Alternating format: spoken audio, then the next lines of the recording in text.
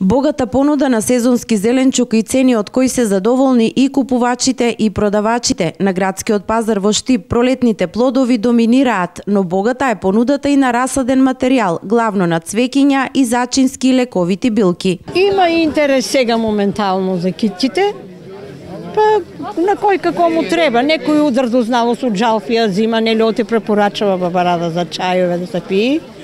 И зимат Ја тие ми се сега продадени. Сега за сега моментално зимат. Каде ги одгледувате и произведувате расадите? У владашци. Дома си ги ние произведуваме, у фолија.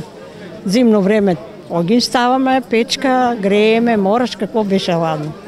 Ако не ги грееш, се ке измрзне. Покриваш со ново крајеве, најломе, грили тие работи. Борба за обстанок.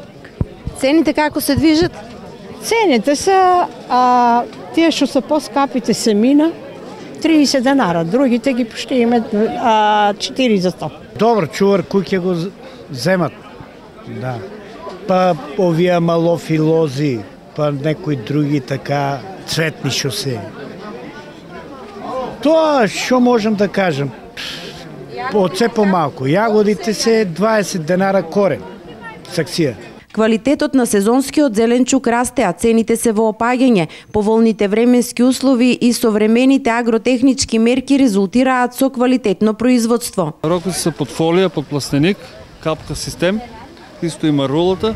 Ова е есенска марула и со додавање на ѓубре стане со наводнување стане рокоците добие големина. Марулата исто имаме магданос, Тоа, рано градинарски, продавам. Денеска највеќе морково, се највеќе моркови салат. Иначе се се трошат, али моркови салат повеќе се трошат.